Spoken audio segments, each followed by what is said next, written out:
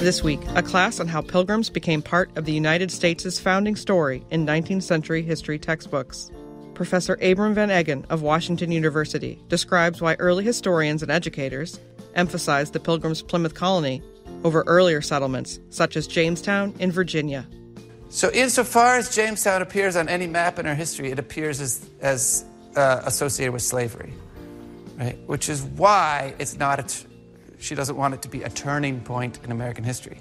Because if it's the turning point in American history, you can't not talk about slavery. More after this. The goal today is to think about how the Pilgrims and the Puritans, who we've been talking about all course long, uh, became such a national part of our heritage, such a huge part of our history.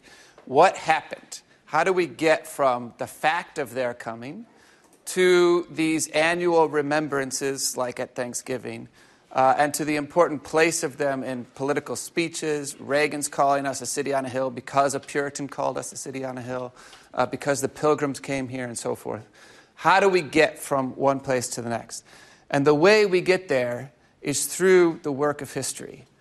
So, what we're going to be looking at today is after the United States becomes an independent nation, what happens to the development of historical writing?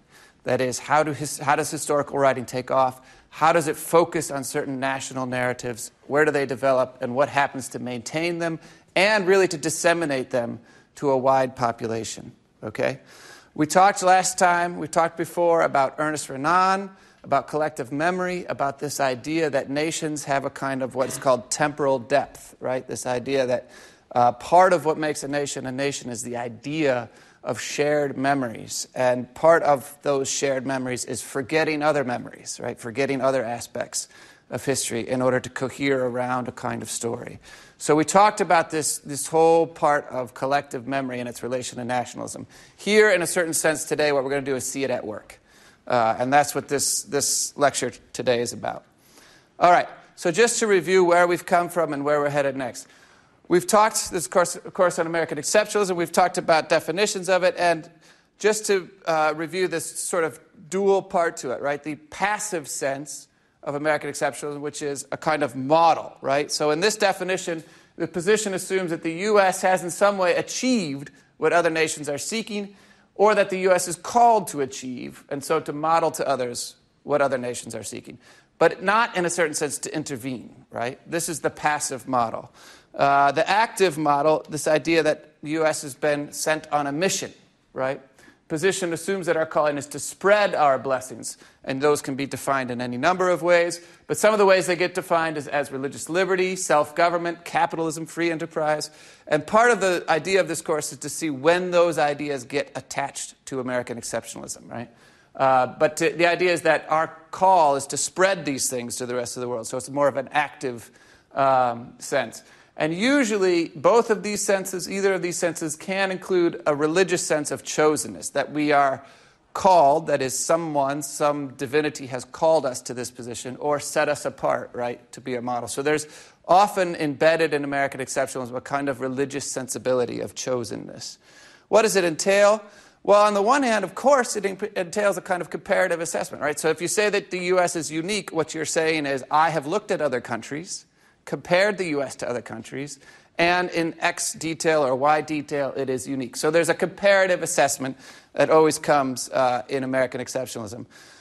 More particularly, though, for our class uh, and for what we're talking about today, there's usually embedded a historical claim that is either implicitly or explicitly claims about America's unique virtues or benefits usually entail claims about America's past. That is how we came to have those unique virtues or this distinct national purpose in the world. And this is where collective memory uh, comes to play such an important part. This is the part of American exceptionalism we're going to be spending our time on uh, today. All right. So, obviously, the U.S. has this revolution, declares independence, uh, makes it stick, Treaty of Paris, ratification of the Constitution. Now you've got this situation, right? You've got all these colonies which were connected immediately to England suddenly connected immediately to each other. They're one nation, right?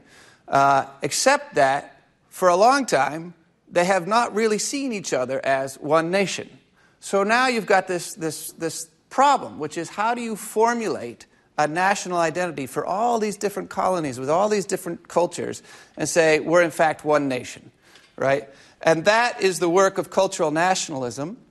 Uh, and it's called cultural nationalism because it takes cultural work to build up a national identity. It takes cultural embedding, texts and speech and civic rites and rituals to create this identity.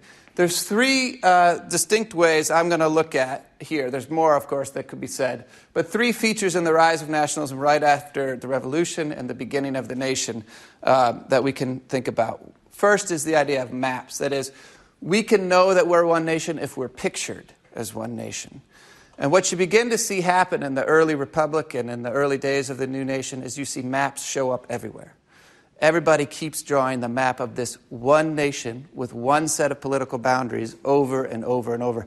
This happens, they hang it on the walls in taverns, they put it on teacups. If you're surrounded by this map of yourself in relation to all these others, right, then you will begin to perceive yourself as one with all these others. So maps become one way of thinking about a national union and a national identity. Um, and of course, part of what we're talking about here, we, we raised this Benedict Anderson before the idea of an imagined community. How do you imagine yourself in community with people you will never meet? Uh, people that you have never met, people that you know very little about, and yet suddenly you're one people with them, right? And maps are one way to imagine yourself as one people. The other thing that happens is rites. So you get the celebration of the 4th of July, for example right? And this begins to happen all over the place with civic speeches and so forth. And so you, in a, in a certain sense, practice yourself as one people. If everybody in all 13 colonies is practicing the 4th of July, they are, in effect, embedding the sense of themselves as one people united across the colonies, right? So maps is, is one way, rites is one way, and then the last way, again, the way we're going to focus on today, history. You write the story of yourself as one people you remember yourself as one people, right? Uh, so, maps, rites, and history are ways of embedding or creating a kind of cultural identity. And so, unsurprisingly, what you see happen is suddenly the rise of historical societies. Now, most people don't think too much about historical societies, uh, and yet they played this really important role in the early republic. So, the first historical society was the Massachusetts Historical Society, Founded in 1791. Uh, it's in Boston still today. Uh, and for our purposes, which is partly we're thinking about the rise of that city on a hill sermon and how it went from Winthrop to Reagan, right? Well, this is the society that first prints it. Remember, we talked about how no Puritan knew about this sermon in its own day. Uh, it was never printed, it was never remarked upon. Nobody knew that Winthrop gave this sermon. Uh, there's no record of it, right? They find it in 1838. Where do they find it? In another historic, the Second Historical Society, in the New York Historical Society. That's where it still is today. Uh, they find it there, and they send a, a copy of it to Massachusetts, which is the first place where it gets printed. Now, what you see happening in that basic development there is something more broadly happening, which is that these are societies founded to preserve American history and pass it on. Why are they founded right after the Revolution and the Constitution, because what they're saying is American history, first of all, is a thing. And second of all, it's a thing we ought to preserve. And third of all, it's so important a thing that all the other nations of the world are going to want to know our history. So let's go ahead and collect it, house it, keep it, publish it, right? Um, and that's why you begin to see these places abound. The other thing that happens with these historical societies, and we're going to see a bit more of this later in the lecture, is there's a kind of sectionalism to them. That is to say, Boston and New York are not the same places, right? And Boston's material is not the same material as New York. And so you see the sort of early celebration of pilgrims in, and the Puritans and so forth in Boston. Who do you think they're celebrating in New York in the earliest days of this historical society? Who are they celebrating? They have their big gala to kind of open their doors, and they say, We want to hold it on the anniversary of what? Yeah. Hamilton gets remembered in, in, terms of everybody's remembering the revolution for sure. But who, where, where did the New York founding go back to? Yeah. It's like Stuyvesant. Stuyvesant. Where's Stuyvesant from? Netherlands. Netherlands, the Dutch, right? So their first big gala is in actually in 1809 to celebrate the 200 years since Henry Hudson right? Uh, and the coming of the Dutch. And so you see the ways in which these historical societies have a kind of regional flair to them, right? New York Historical Society begins by celebrating the Dutch, and they say, oh, yes, of course, the Puritans and the Pilgrims and those people too, sure. Uh, but we're, we're the Dutch, you know? Uh, and each place begins to kind of emphasize its own history as part of the national story, right? Um, we're going to come back to this term in a little bit, but what you get, what you begin to evolve here is what one historian has called sectional nationalism. That is, that my section is the sort of essential section of the nation for the nation, right? If you want to know about American national history, you first have to know about my section of the nation, right? We're the most important part. Uh, and so you get that sense of sectional nationalism.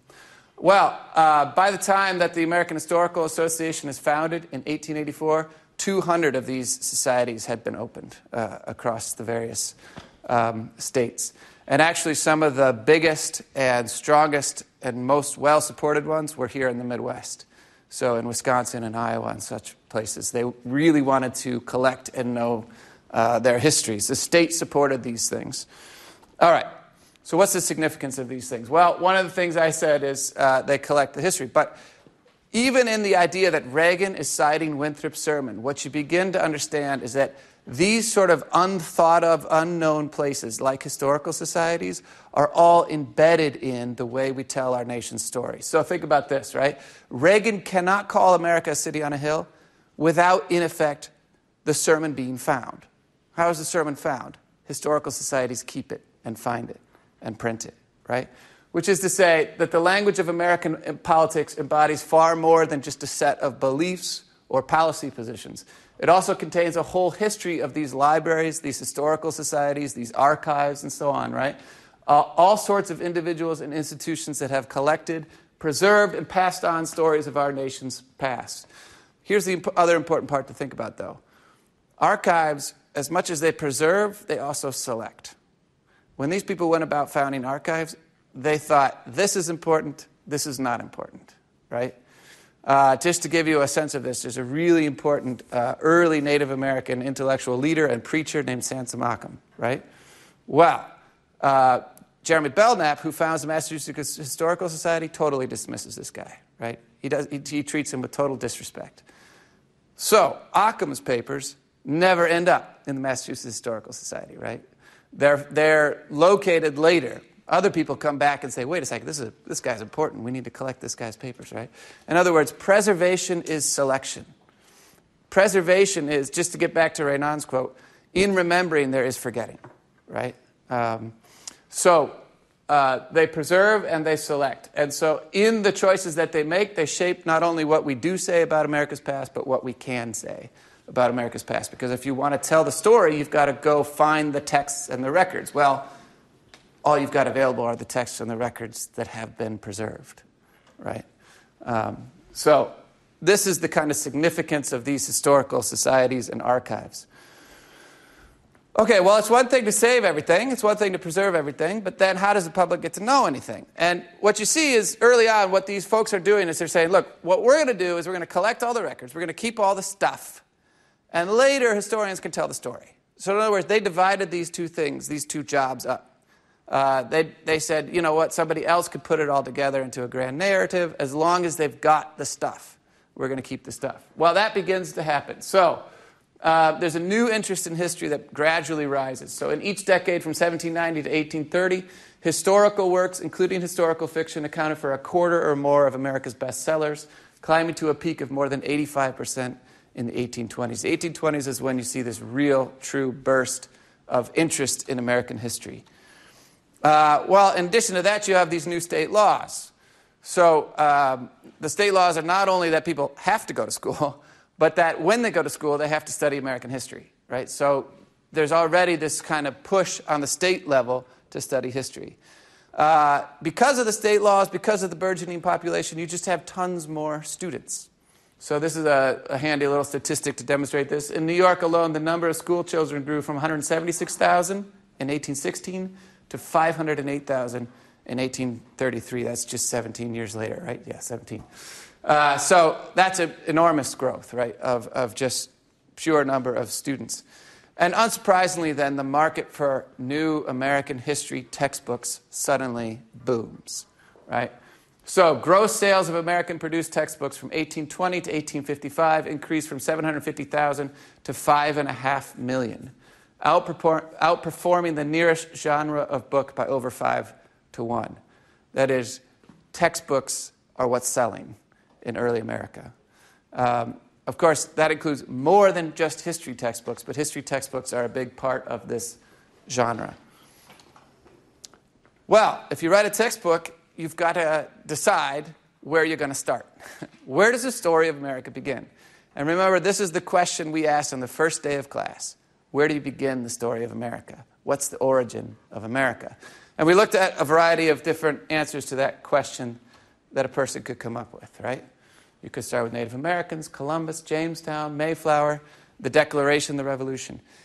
Remember that each of these answers has an implication about what you mean by America, right? Each of these answers, if you start with Native Americans as the beginning of America, you've got a much broader sense of diversity of all the people who've ever lived here, unbounded by any certain political geography or boundaries, right?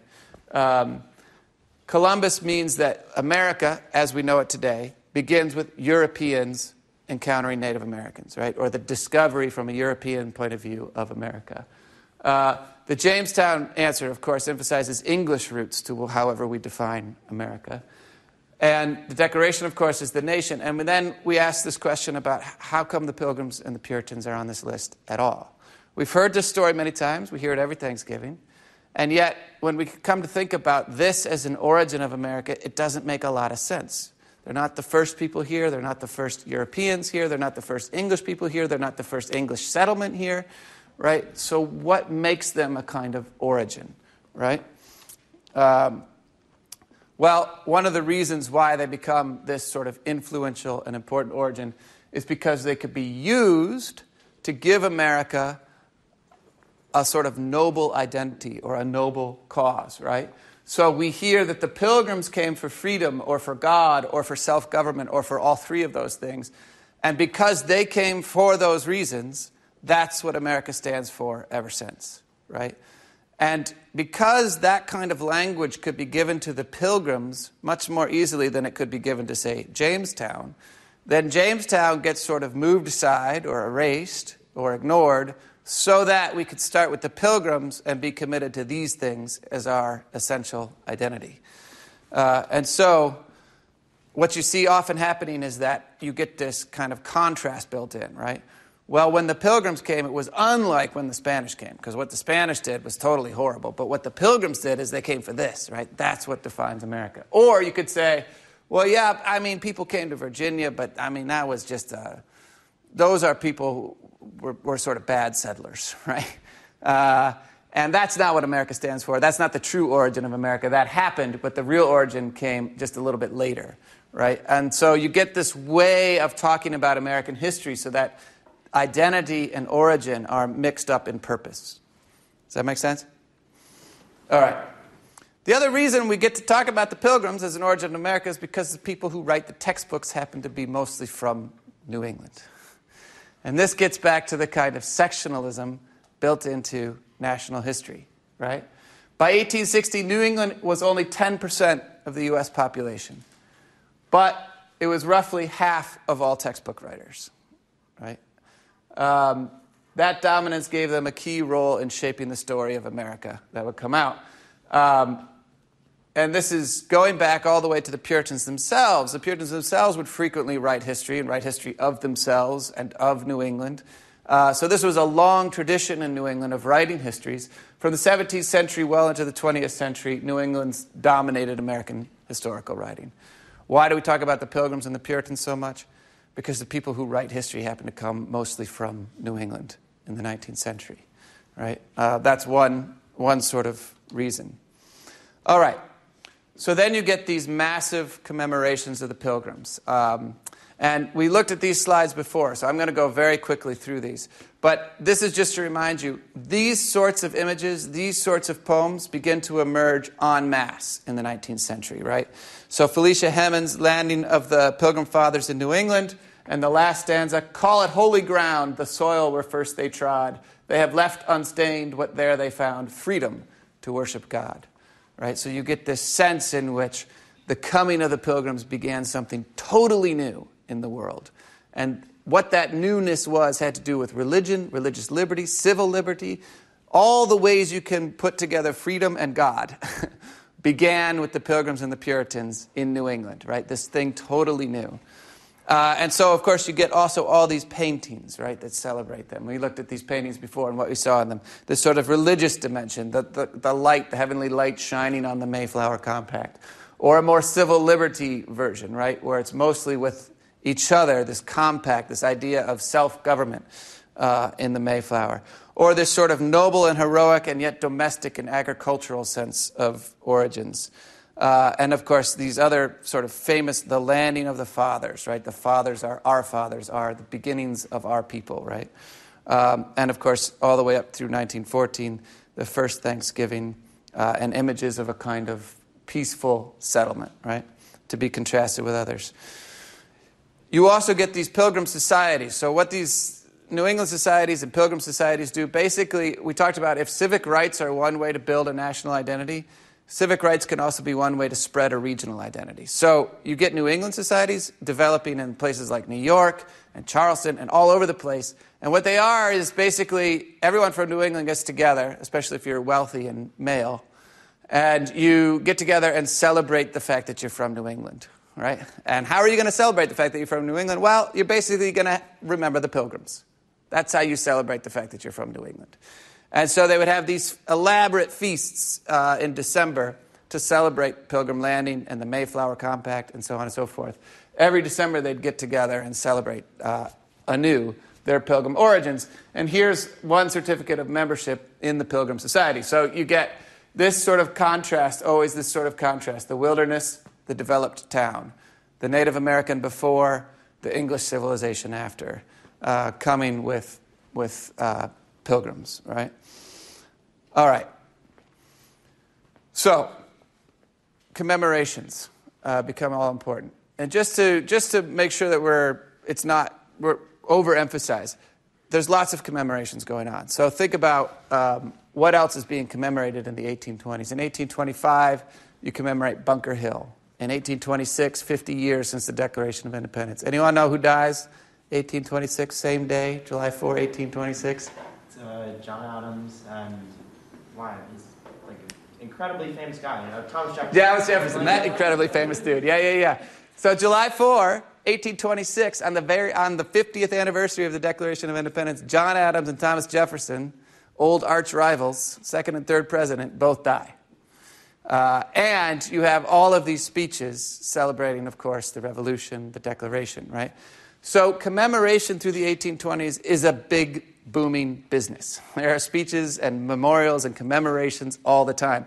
This is, again, the building of a public history, right? Memorials and monuments are super important. It's how a people makes their identity and remembers it in all of these civic rituals and all of these ways of sort of building a cultural identity. Well, one of those commemorations happens in 1820 because, of course, it's 200 years since the landing of the pilgrims. So, in, one thing to keep in mind is up until 1820, the pilgrims were celebrated, but mostly in New England. That is, if you're from Charleston, you're like, the pilgrims who? Like, why is this, why is this important to me, right? Um, and by 18, in 1820, partly through the work of this guy, Daniel Webster, the pilgrims start to become nationalized. They start to become a kind of national origin story. And this speech that he gives in 1820 is uh, one of the ways that begins to happen. So, uh, Daniel Webster, anybody remember who Daniel Webster is? You guys covered Daniel Webster before?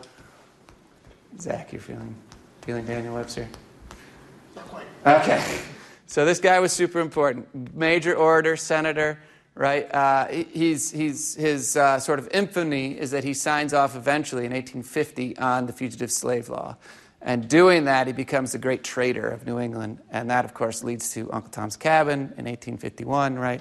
Uh, so that's sort of where he ends. He dies in 1852, shortly after that. In 1820, though, he's still very much on the rise. He's this very important senator, um, speaker, um, House representative, lawyer.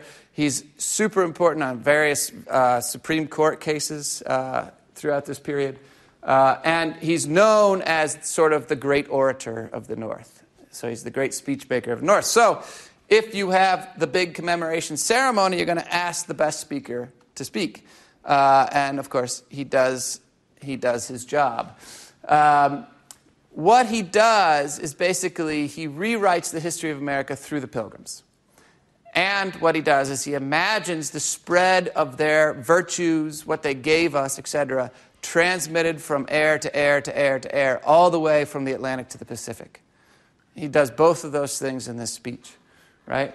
So he closes his speech by imagining the voice of acclamation and gratitude commencing on the rock of Plymouth, transmitted through millions of the sons of the pilgrims till it lose itself in the murmurs of the Pacific seas. Right? So he gives this incredible oration. In fact, one person comes away from it and says, It was like uh, his face was shining like the gods, you know, like Moses, and he's, my whole head was going to explode with the rush of excitement. John Adams reads this speech and he says, This is the, the, the best speech he's ever read.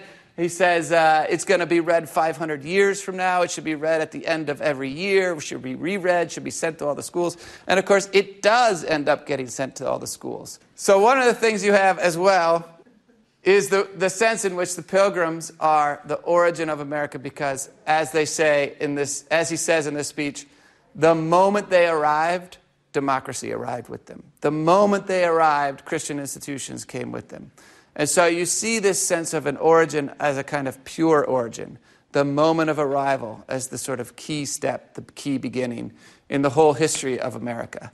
Uh, and he, of course, sketches that forward all the way to the present day. What you see happen after that is the spread of all this stuff through education. All right? Um, and education is this important way of thinking about how do you get ideas from someone like just a speaker and a speech, like Webster's, to a much broader population or public, right? Uh, well, one of the ways you do that is through education and through uh, textbook.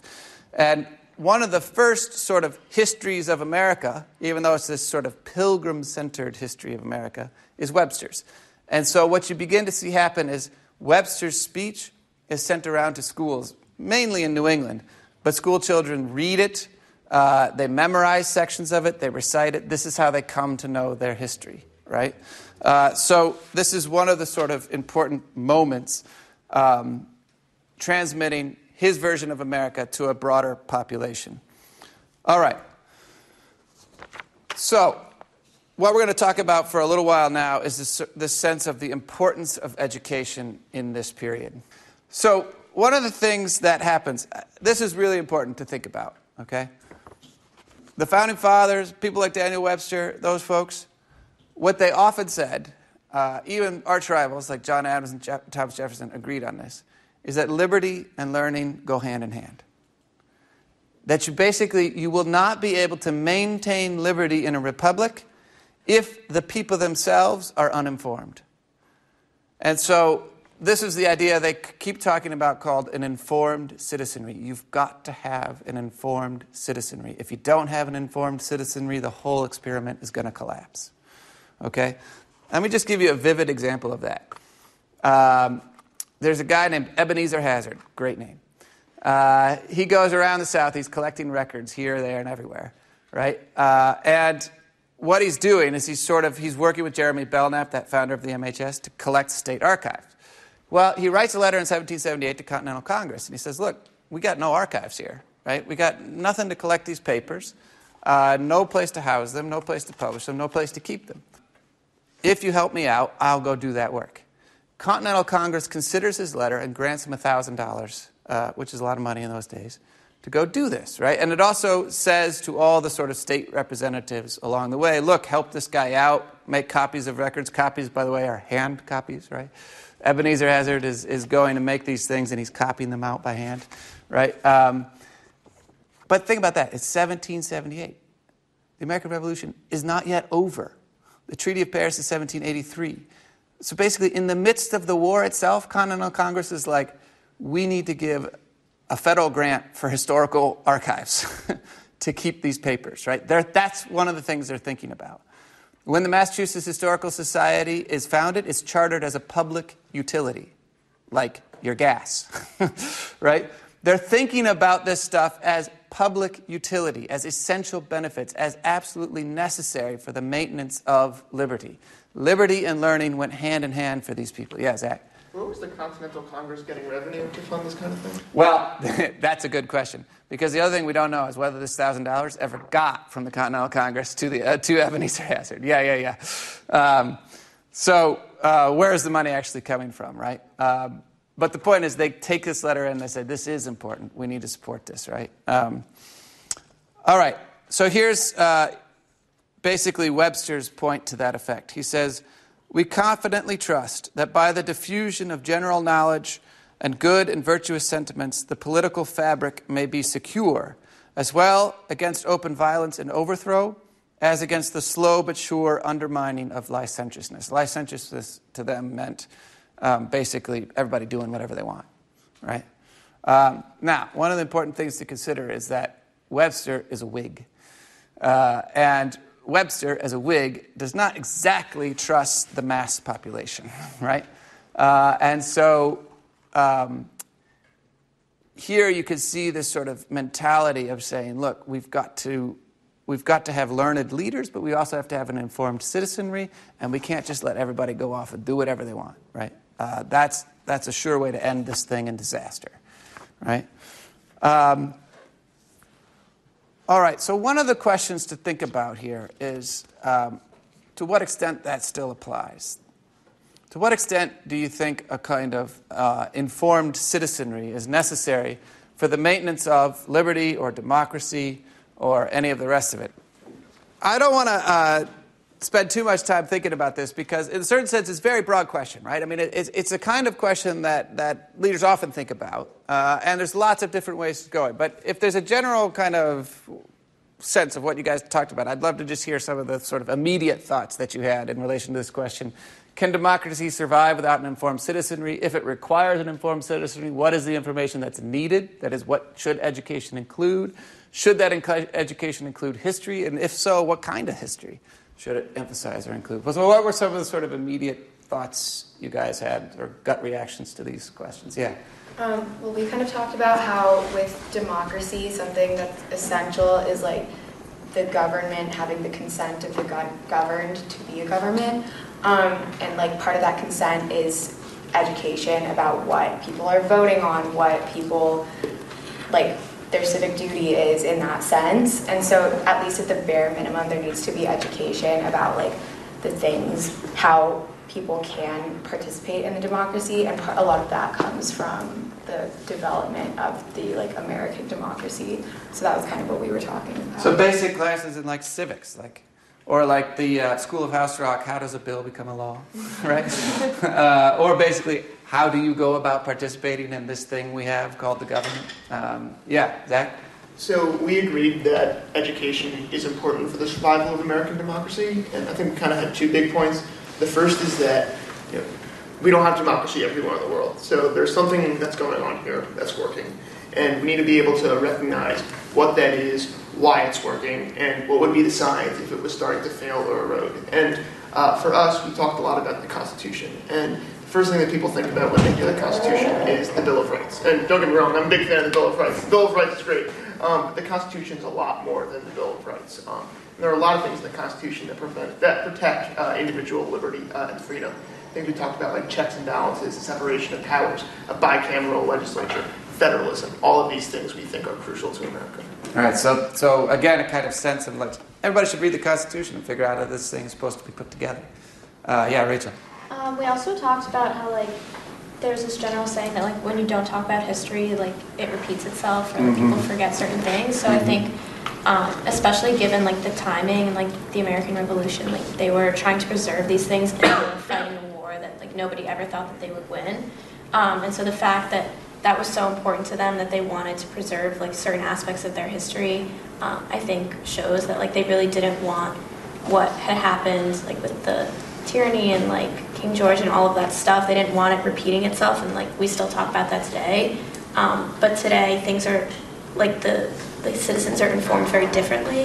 Um, people like read the news on their phone, and that's what they like base their decisions off. So I think there's like this idea that we have to keep history alive, but it's just kept alive a very different way today. Yeah, well, and, and thinking about the way people inform themselves today, right? We're very aware of misinformation now, right? The idea that you could be, it could be a fake article or fake whatever on Facebook, right? That leads you, I'm not going to say fake news because there's, there's real news.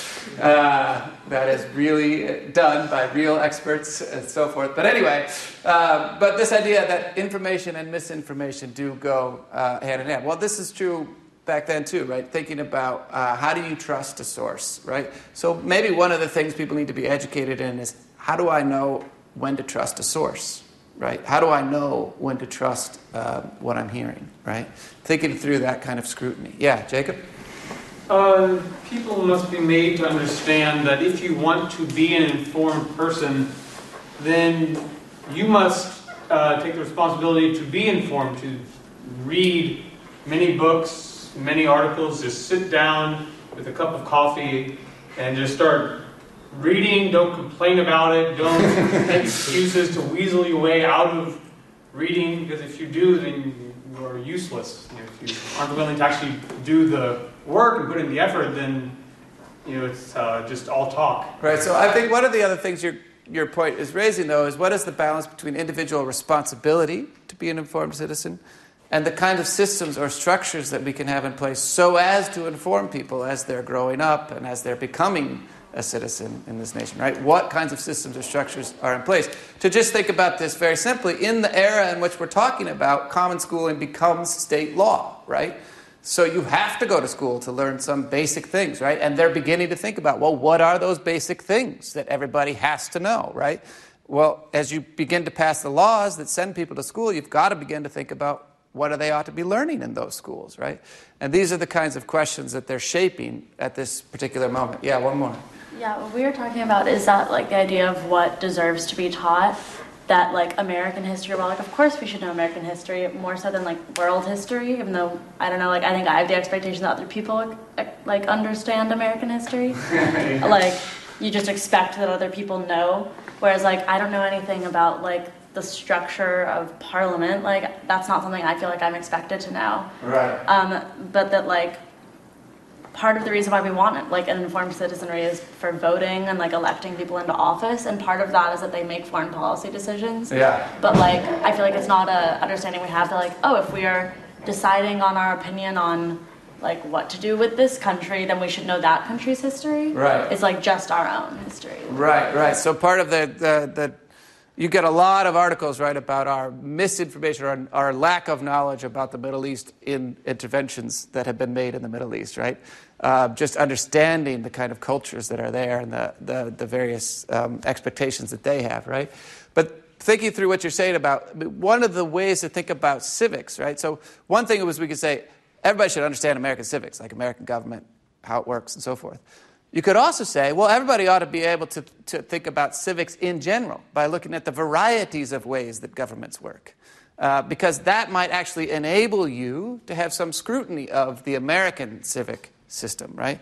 And I want to just use that example to think about. Uh, we talked about Perry Miller a bit before, right? Uh, and, and the kind of influential role he had, this historian of the Puritans uh, in mid 20th century. Well, he also wrote about education. And uh, I just want to use his, his sense of this tension here to think about um, one of the tensions that sort of underlies some of these questions that arise about what should be taught. So he says one of the goals of education uh, in American society is often the sense of diffusion, that is, of making accessible, of bringing knowledge and out to people, right? So communicate it to people, train people up. Uh, education aims at the diffusion of information, the making of good citizens. A profound, this is his quote, a profoundly democratic conviction that the schools should be so conducted as automatically to produce exactly what America wants. So, if America wants more workers, schools should be the place to train those people to be more workers, right? Uh, this sense in which the schools produce what America needs or wants, uh, this diffusion, right? But he said that's in tension with this other underlying sense of what education is basically about, which is discovery.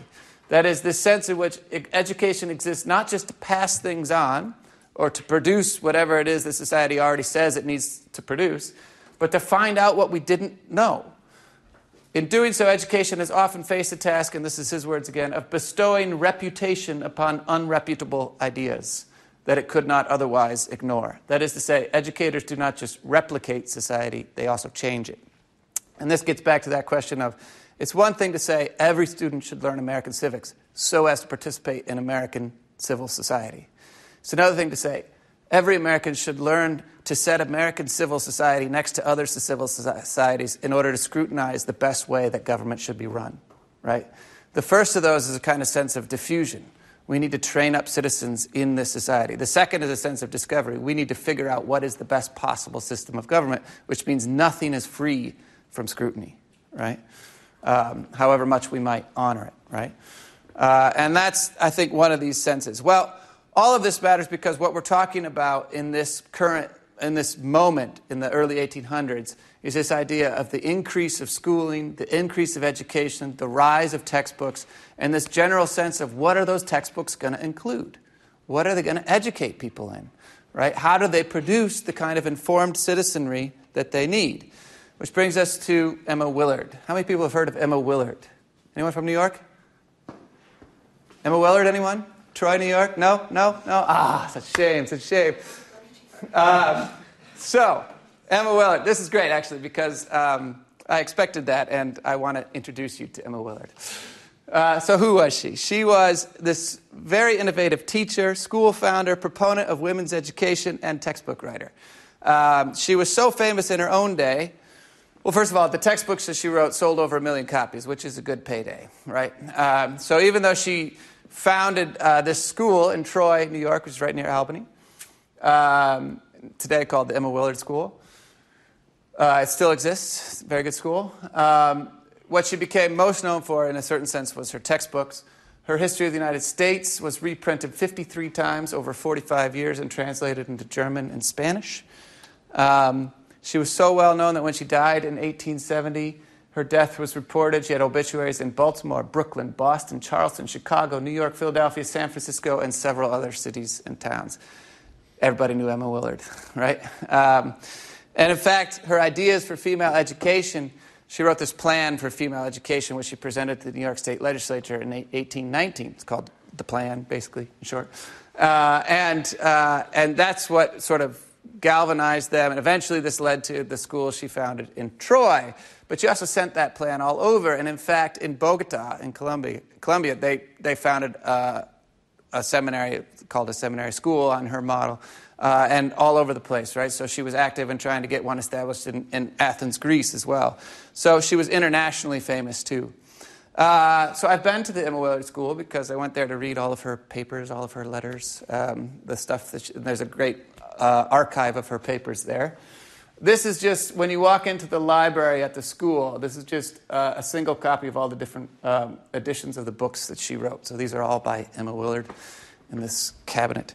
Um, so, what's her argument for female education? I want to uh, kind of lay out the argument real quick and then show how it relates to these common concerns of the era.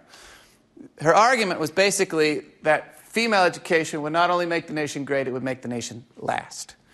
Uh, Willard called on patriotic countrymen to follow her advice and establish a broad system of women's education in the consideration of national glory. What she was basically saying is look, if you leave women only the genteel arts, right, only homemaking or whatever, um, you're basically uneducating half the pop. You're leaving half the population as uninformed citizens. We need a fully informed citizenry that includes the women. Now, what this argument um, reveals, which we don't, we need to, we need to think more about, right, is this, first of all, this sense. There were a lot of people still in the 18 teens and 1820s worried about whether this American republic was going to last. Look, all they had was the republics of history, and all of those republics had not lasted, right? So, mostly what they were thinking about was how do we make this last as long as possible before it doesn't last anymore, right?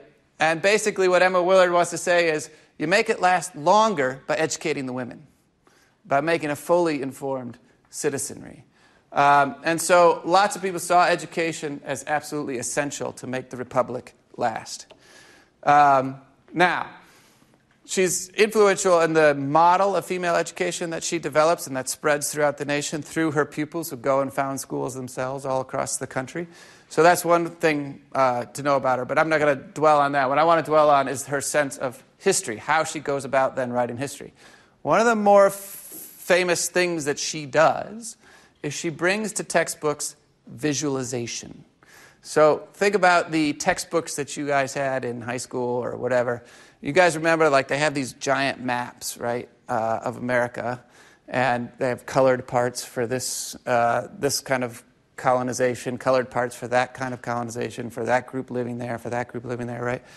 Basically, this sense of developing history through maps, she starts that, right? Um, and so, what she basically wants to say is by the visual, students can grasp so much more of American history so much more quickly. In fact, she's so committed to this idea of just grasping the visual history of America that she tries to figure out how can I make a single image that will be the whole history of America up to the present day. And this is the image she comes up with a tree. Okay? So, a couple things to notice about this tree. First of all, you see left and right, it's the same kind of imagery you got on that membership in the Plymouth Society, right? Uh, the sort of uh, so called native wilderness beforehand, uh, English town settlement after, right? Um, so it's this, this sense of that kind of chronological development that she wants to tell. Well, what does each branch of this tree then do for her? Well, what it does for her is it establishes a turning point, right? And you'll see, I'll show you on the next slide, that a lot of this tree basically maps onto her table of contents. Um, and what she wants to say is if you know the turning points of history, you're 90% there. The rest is filler, right? Basically, if you know the key moments, everything else that happens in between the key moments is, you know, it's fine, right? Uh, and so, what are the key moments? Well, of course, here it's very hard to read, I know, so I'm going to read it to you. This is Columbus's discovery, right? 1492. This is Gilbert's patent. Uh, so, these, this beginning of exploration. Uh, and then here is 1620 Pilgrim's Landing. What's missing from the tree? What's not there? Jamestown, right? Done. We're not going to talk about the South, right? Uh, this is not a turning point in history, right? So even though it is the first permanent English settlement in America, for her, it's not a turning point. It's not a thing that every pupil has to remember, the beginning of Jamestown, right? Instead, what every pupil has to remember is the beginning of Plymouth, Pilgrim Landing, the Mayflower, right? And so, what you get between here and here, 1578 and 1620, in her textbook, is a whole bunch of accounts of uh, basic explorations and discoveries, including the Spanish and the Portuguese and the English and others, right? Dutch and so forth. So basically, Jamestown is, uh, gets wrapped up with the kind of finding of America. You found America, you begin America with the pilgrims, right? Uh, and that's how you can build into history all these turning points that allow you to move chronologically but assert origins at different moments, right? Now, I told you before I was going to give away my example. I gave my, my example away a couple weeks ago, 1643. Does everybody remember now what that confederacy is? that was so important in the 19th century that everybody remembered it, that it was this turning point in history, the 1643 Confederacy, that nobody remembers today? What happened in 1643? We talked about this two weeks ago. Who united? Who came together? What confederation? Yeah. It was, wasn't it like some of the New England colonies to fight against the Native Americans? Yes, correct, right? So, four New England uh, colonies come together in 1643. They say we're going to unite uh, for our common defense. And of course, this becomes, in the 19th century, one of the key turning points because it is one of those moments of union between the colonies that's prefiguring or looking forward to a much broader union of colonies that's going to come in uh, 1776, right? So, uh, so people are celebrating 1643 in the 19th century. Today, we don't remember it at all. This is how we think about public memory, cultural memory uh, changing over time. It doesn't remain static, right? Uh, collective remembering is a dynamic thing. Some things are remembered in one generation, forgotten in another generation uh, as unimportant. All right. Uh, so here you see the table of contents. Um, and I just want to draw your attention to here because this, again, draws out the sense uh, not just of confederation, but also the importance to Emma Willard of textual history. That the Confederation, the compacts, are these various important texts that get written over time. So, why is 1620 an important, what she calls epoch uh, in American history? Landing of the Pilgrims at Plymouth after having found on board the, uh, framed on board the Mayflower, the first written political compact of America. The first written political compact of America, right? If you call something first, you can, in a sense, erase anything else that has happened before, right? By simply calling something the first. Uh, also, what's essential here is that she says it's the written compact. That's what matters, right? And again, this prefigures a written political social compact that's going to come later to frame the nation. These are how the stories of the nation are being written, right? So, just to review then, what do these epochs and origins allow her to do? Each is a break, each break can be a possible beginning. So, effectively, what it allows her to do is to say, yes, I'm moving chronologically through American history, but here are the moments to dwell on. Here's the origin of something new at each of these key t- turning points, right? Columbus is a section to himself. Then the first epoch is this, um, this, these, all these discoveries. Jamestown is in the era of discovery, but it's not in the era of the first political compact of America, right? That starts with the pilgrims. All right, what does she say about these pilgrims? When they come, this is what she writes about them.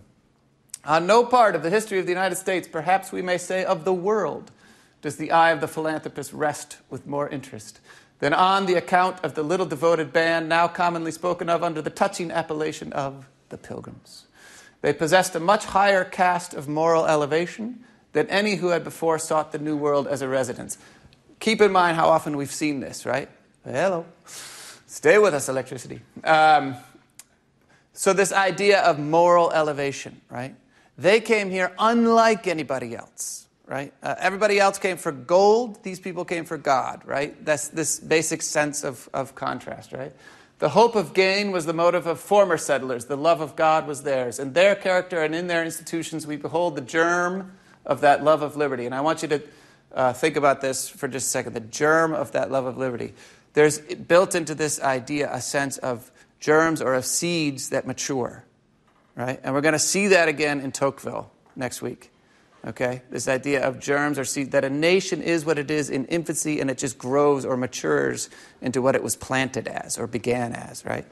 Um, and those correct views of the national equality of man, which are fully developed in the American Constitution. This is the origin, the pilgrims, right? Uh, so you can see the way she's establishing that. So I said that she's very famous for introducing maps into American history. Well, here's you can see how it works. So this is her, her introductory map. Now, what's noteworthy about this map is that it's got, not called the first map of American history. It is the introduct. The, the first map is next, the second one, right? So the introductory map is just basically there's a bunch of Native Americans, right? So you can see the way in which this kind of history makes Native Americans into the backdrop against which the story begins. They're just part of the setting, right? This is just the setting, it's the introduction. This is what the world looked like before it began, right? Um, and you can see the way in which um, this kind of history maps very well onto the beginning of Genesis. Anyone know how Genesis begins? Anyone here? Spirit hovered over the void, right? Then God said, Let there be light, right? There's this sense in which there's a void or a vacant land or an emptiness that is just waiting for order, waiting for something to arrive.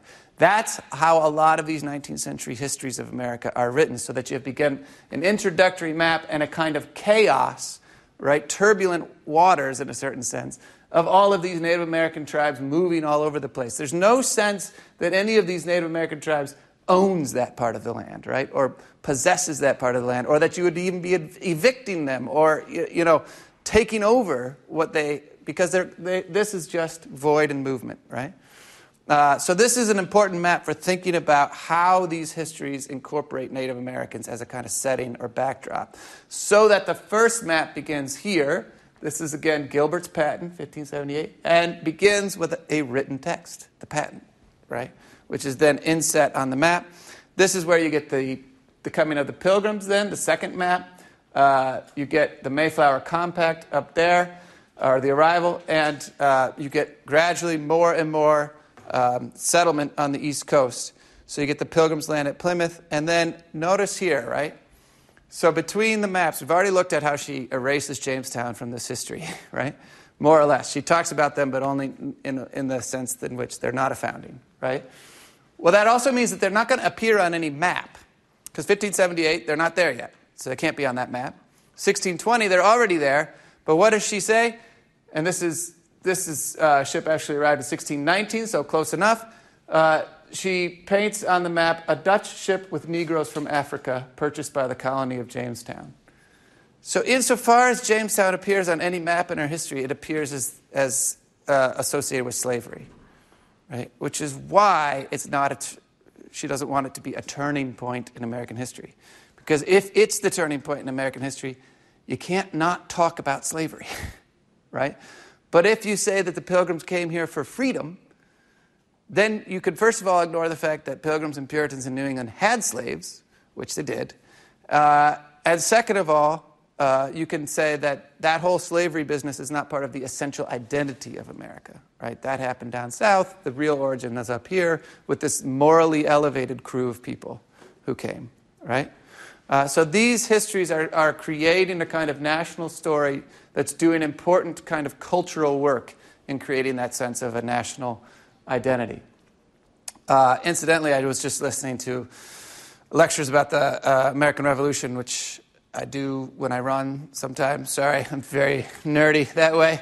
Uh, but they were talking about Jefferson's draft, of course, of the Declaration of Independence versus what uh, eventually happens, and of course, this very famous elimination he charges the king with having forced on them the slave trade and so on, right? And there's people in Congress who feel a little tender about that, right? Especially folks from Georgia don't really want that in the Declaration of Independence. Uh, so they take, they take that stuff out. Um, but what Jefferson says about this is that it wasn't just Southerners who wanted that removed. It was Northerners who wanted that removed because why? They're the sea merchants who are making so much money on the slave trade. So when we think about slavery as, as a Southern institution, we're forgetting the fact that it was very much a Northern institution, too, in particular through um, these merchants um, and sea vessels, but also in the fact that it existed uh, in Puritan New England. All right, so these maps go on and on. Then you get to this point, and you can see. Uh, just let me just give you this sense. There's a lot of maps between here, but I just want to give you this sense of the gradual ordering right? So if you think about, again, to go back to Genesis, what you have is void, and then by the end of creation, order, right? Now look at these maps. Here's the introductory map, then the first map, the second map, and a series of other maps, and then this, right? You have this gradual sort of development of order out of chaos, right? In the sense of the history. So this is 1789, the Constitution. And of course, one of the notable features of this map is where's the western boundary? right? Whoops. Uh, so you get this sense of a map that is not yet done being written, right? And you also get this sense that built into these Puritan roots or this pilgrim seed or whatever is a maturation that needs to continue, that needs to continue expanding. Uh, that expansion is sort of natural to what it is.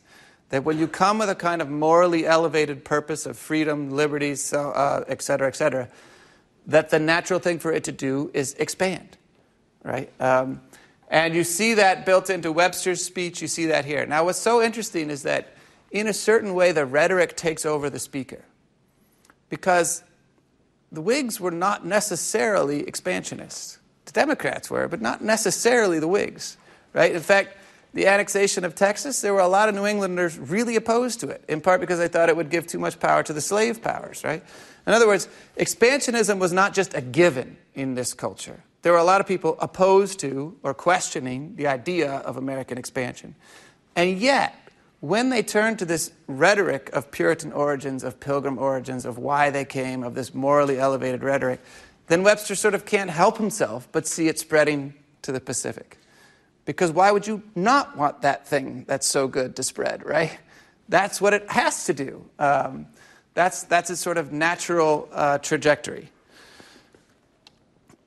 All right. So then that brings us to this guy, George Bancroft. I told you uh, the, the big prize in American history, if you win the big prize in American history, it's called the Bancroft Prize, right? After this guy, George Bancroft, who wrote 10 volumes of uh, U.S. history over the course of 40 years uh, and was sort of the major, especially at the beginning, the major authority on American history, right? Um, and his account of the pilgrims, which is very much like Willard's, um, gives you a sense of what is happening to this narrative as it's being developed. So, this is again, uh, this is a Bancroft quote. As the pilgrims landed, their institutions were already perfected. Democratic liberty and independent Christian worship at once existed in America. Think about that as this sort of incredible origin story, right? What that sort of ignores is the fact that pilgrims and especially Puritans are working out church state relations over the course of many years. There's nothing automatically formed when they land, they have to work it out. But working through all these sort of messy developments over time does not offer you a clean break. Right? Last week, you guys were reading Rogers about exceptionalism, uh, and one of the versions of exceptionalism is a clean break. Right? So the past is the past. This is something totally new. Here you get this sense of a clean break, right? This sense in which the moment they stepped ashore, everything was set in place. And all that could be done then is for it to grow, right? Uh, or for it to mature or spread. So you get this. Through scenes of gloom and misery, the pilgrims showed the way to an asylum for those who would go to the wilderness for the purity of religion or the liberty of conscience. Now, just think about we read Reagan's farewell address at the beginning, right? How many echoes of Reagan's farewell address are already built into this language? And this is 1834, right? In the history of the world, many pages are devoted to commemorate the heroes who have besieged cities, subdued provinces, or overthrown empires. In the eye of reason and truth, a colony is better offering than a victory. The citizens of the United States should rather cherish the memory of those who founded a state on the basis of democratic liberty the fathers of the country, the men who, as they first trod the soil of the New World, scattered the seminal principles of Republican freedom and national independence. So notice that by the time of Bancroft, uh, this is what the Pilgrims are Republican freedom and national independence. They are the o- origins of that, right? Um, so, this is the way in which the Pilgrims begin to become nationalized at this moment into a story. And we're going to talk in two weeks, we're going to read O'Sullivan, Beecher, and other documents to think about that other aspect of Willard's map. That is, how do we get from that story to the spread of that story west? And what's the relationship between American exceptionalism and manifest destiny? Uh, and ideas such as that. All right? Uh, let me leave it there for just a second and ask if there's any questions about any of this that you guys want to talk about.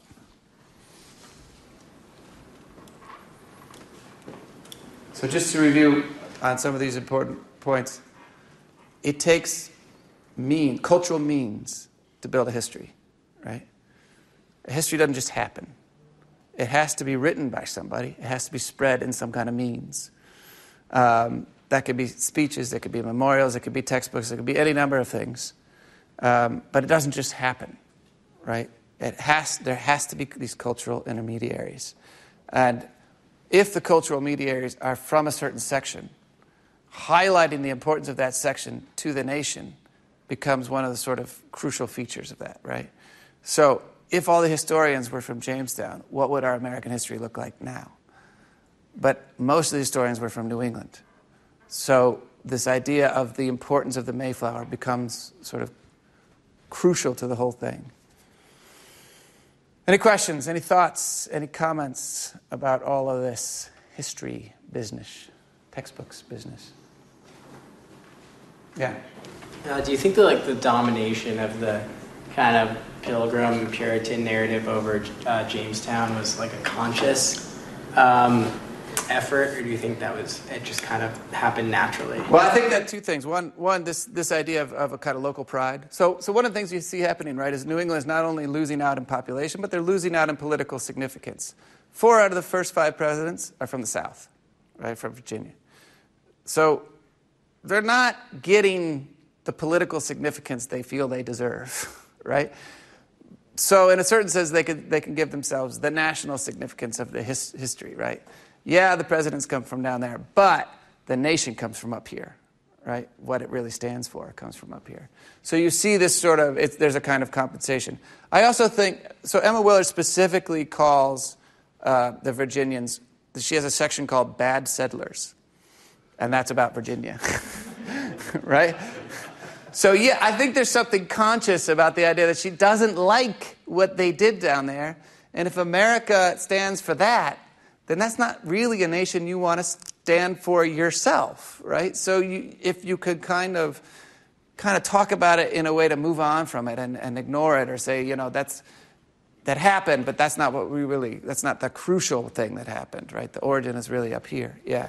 If the textbooks had been written by Southerners, the ardent supporters of slavery, do you think they would have consciously left out the Jamestown narrative? Because it would seem pretty hypocritical. Well, who knows, right? Yeah, these, these counterfactuals of, of thinking about what if, what if the South had this, this writing culture of history uh, and the North didn't? What would, what would have changed or how would it look differently? It's hard to know exactly, right? Um, but the fact is, you know, one of the reasons why the Puritans became such a, a you know, in, in, my mind, fascinating culture is partly because they wrote everything down. Like they were just incessant about writing, right? Including their own history, but records, church records, everything, right?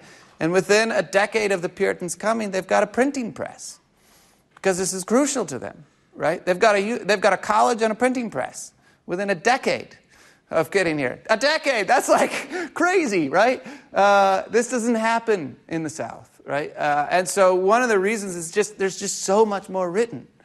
And if you're looking for the sources, right, Perry Miller says, uh, I started with the articulate beginning, and it was articulate because it was written down, basically, right? I mean, he's, he's sort of conscious about what he's doing when he says Virginia doesn't matter, the Puritans matter. Why do they matter? Because they wrote it down. But that's, of course, tautological, right? Um, in the sense that he thinks about them because they wrote, right? Um, all right, any other last questions or comments for today? Okay, I want to leave a little time to hand back your papers, uh, and we'll wrap it up. We'll read uh, William Apess and Frederick Douglass for Thursday, and then we'll get into Tocqueville next week. Thanks for listening to C SPAN's Lectures in History podcast. C SPAN has a new podcast, Presidential Recordings. During the first season, C SPAN shares private phone calls between President Lyndon Johnson and members of his administration, Congress, and even his own family. Presidential Recordings. Find it and follow it wherever you listen to podcasts.